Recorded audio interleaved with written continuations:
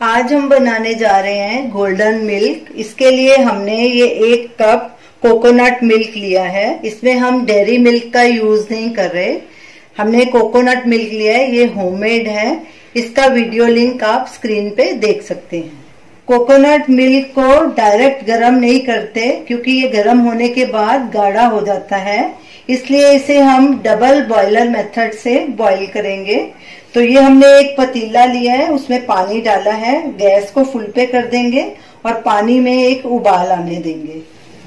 पानी अच्छे से बॉईल हो गया है, अब गैस को बंद कर देंगे और इसके अंदर एक छोटा पतीला रखेंगे और इसमें दूध डालेंगे। पतीले को पानी में ही रखा रहने देंगे और थोड़ा सा जब गर्म हो जाएगा तो इस पतीले को निकाल लेंगे। ये डबल बॉयलर मेथड है, जो कि इस तरह से किया जाता है। कोई भी प्लांट मिल्क हो, उसे ऐसे ही डबल बॉयलर मेथड से ही गर्म करना चाहिए। दूध हल्का गर्म हो गया है, ऐसे उंगली से चेक करके देख लेंगे। अब इसे बाहर निकाल लेंगे।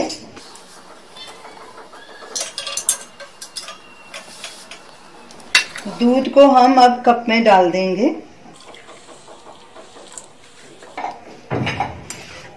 अब इसमें ये हाफ़ टी स्पून हल्दी डालेंगे वन एट टी स्पून दालचीनी पाउडर हाफ़ टी स्पून धागे वाली मिश्री, ये ऑप्शनल है, अगर आप डालना चाहें तो डाल सकते हैं, और वन पिंच काली मिर्च डालेंगे। इसमें काली मिर्च ज़रूर डालिए, क्योंकि काली मिर्च हल्दी का इफ़ेक्ट बढ़ाती है। अब इन सब चीज़ों को अच्छे से मिक्स कर लेंगे। हमारा गोल्डन मिल्क तैयार हो गया है। ये इन्फ्लेमेशन को कम करती है।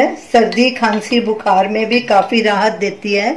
इसके और भी बहुत सारे हेल्थ बेनिफिट्स हैं, जिन्हें हम अगली स्लाइड में आपको दिखाएँगे। तो आप इस मिल्क को ज़रूर ट्राई कीजिए और हमें अपना फीडबैक दीजिए।